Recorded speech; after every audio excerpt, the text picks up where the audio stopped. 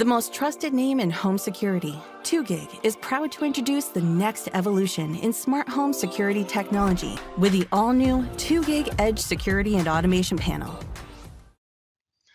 Welcome to our 2GIG Edge Smart Home Automation presentation. In this presentation, we're going to talk about your cameras and setting those up, both your IP cameras as well as your Alarm.com cameras, doorbells, your onboard camera, and then we'll go into talking about smart home automation. You can view up to eight live camera feeds on the 2GIG Edge panel uh, and on the remote keypads. The panel and remote keypad also have cameras. These cameras do not count toward the eight live feed camera limit. Compatible cameras are your Alarm.com cameras, both the Wi-Fi and hardwired, and then your ONVIF level uh, profile S ONVIF cameras. Your doorbell cameras are also, you have two options, which are the Alarm.com Video Doorbell 770 and the Alarm.com Slimline Doorbell. In order to set up your cameras, you go into the installer toolbox under the camera settings on your onboard camera settings, you have the ability to select whether the onboard camera will stream to other panels and whether you want to be able to capture images for certain events such as arming, disarming, or alarm, alarm codes or invalid entry of alarm codes. Under the IP camera section is where you would learn in your IP cameras, your ONVIF Profile S cameras. In order to do that, you will enter the camera's login name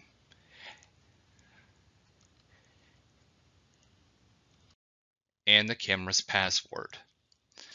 Generally, when you set up your ONVIF cameras, you're going to have you're going to set up the same login name and password for all of your cameras, and they're all going to be connected to the same network that this uh, your Edge panel is connected to. So then when you do that, it will reach out to the network that the Edge panel is connected to, and it will search for all cameras with that same login name and password and download them and download them here. You'll see them start populating here. You also have specific camera settings by selecting the camera as well. In order to view your alarm.com cameras onto the panel, you're going to set those up on alarm.com first. Completely set up on alarm.com and then stream them to the panel from alarm.com. In order to do that, once you have your camera set up and operational and on alarm uh, viewable on alarm.com, you'll, you'll go into the video section and go under the settings. In the settings there, you should see an option that says to stream video to security panel screen. You'll select that and then ensure to check the box on the right hand side of each camera that you wish to view onto the Edge panel. Once you save that selection, you'll go back to the Edge panel and you'll see them start to stream to the panel. It does take a few minutes to uh, stream from alarm.com. Now let's talk about setting up some smart home settings, adding some Z-Wave devices, and talk about some of those scenarios.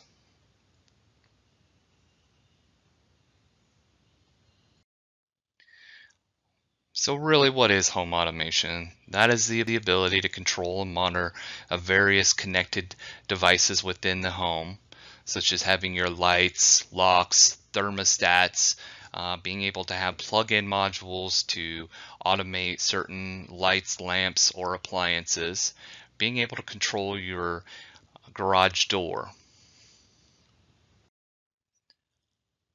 This inc increases convenience uh, for the customers. We enable such things as an automation based on schedule or actions. Schedules would be such as uh, lights that come on at uh, sunset every day, and then that's all. You know, that's actually altered every single day based on when sunset in that area happens, and that's all controlled by alarm.com. Or automation based on actions. When I open this door up, this certain light comes on. Um, or opening up a, um, walking past a motion detector will turn on a light. Those are some of the examples uh, of automation based on either schedule or actions. And all this is controlled remotely via the uh, alarm.com platform or on their app.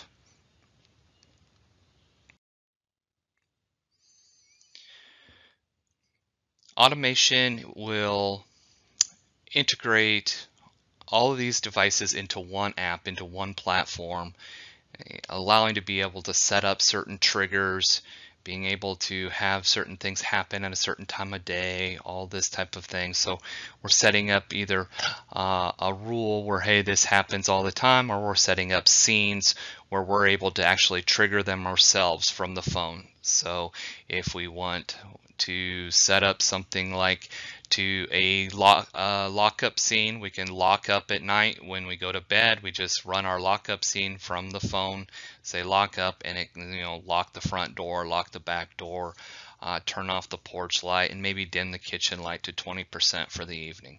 Things of that nature. Or a wake up scene when you get up in the morning just uh, pick up the phone and say wake up scene and maybe turn on some lights, music, whatever, something that they may have set up that they want to do in the morning. Controlling the devices remotely is very simple. You can control them from the panel uh, via cellular Wi-Fi to alarm.com or you can control them from your uh, computers or tablets or you know phones. You also can control them through third-party devices such as uh, Google Home or Amazon Echo. You could say you could set up to say uh, Alexa turn on my lights or you know uh, you know you set up to set up those um, voice automated commands through those third-party devices. In order to learn in a Z-Wave device, you'll tap the settings icon or press and hold the 2GIG logo for about three, four seconds, uh, depending on how fast you count Mississippi's there. Enter in the access code for the installer code, the ba uh, base installer code, and then or your installer code for your company, whichever one is on the panel. And then go to the installer toolbox enter in the code if you entered in through the um, system settings side, you enter in the code again. And, and then go into Z-Wave, Z-Wave settings. Under Z-Wave settings, you may have to remove the device first. So you haven't even plugged it, plugged, you barely plugged it in or uh, powered it up and straight out of the box. And you may at certain times have to remove those devices because if they tested them at the factory and forgot to remove them from that controller at the factory, then they'll be still learned into that controller and that's the only one they listen to so you won't be able to learn it in so sometimes uh, it may be beneficial to go ahead and just remove it initially right out of the box and so then once you tap to remove, you would just remove it. The system starts listening for the device. And then when, as it's listening, you will trigger the device, whether it be a, a single click of a certain button, uh, a double click, triple click. There's different modes for pair, the pairing exclusion button. Just um, just check the manufacturer's directions on how to trigger that device. Once that happens, it will get removed. It clears out the memory of the device. And it shows here. Now that that's done, you can ensure that it is not learned into any other panel, no other controller. You can just add the device. And again, just as it's listening, trigger the device as you did before. Same method, whether it's a specific button or whether it's a double click, triple click, etc. It will now learn in the device. and it run and then I'll show as it runs through. Now it may stop at a certain point and say to enter in the device's DSK. Hmm, well, what's that? What do you mean? What's going on? Why did it not learn in? Well, what it's looking for is there's a specific code that S2, um, it's an if it's an S2 device, has a unique DSK pin code. This is Z-Wave's um, specific added uh, feature for them for to prevent hacking. And if a device is S2, it'll indicate on the device and you should be able to find that S2 uh, DSK.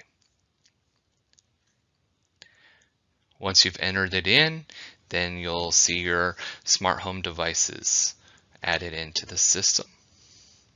You can You'll see that there's no issue here with this one as the manufacturer, uh, the type of Z-Wave device, and you have the ability to edit the name.